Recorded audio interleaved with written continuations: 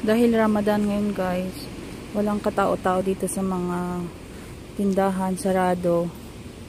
Pero ang grocery, open naman. So, pumunta kami sa So, pumunta kami sa grocery kasi may binili lang. Tingnan mo. Tahimik na tahimik ang paligid.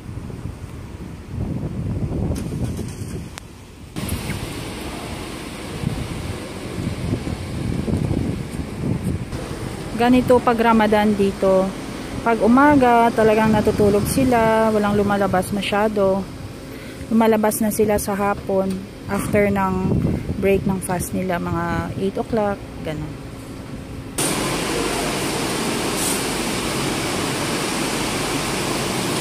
So, grocery lang talagang open.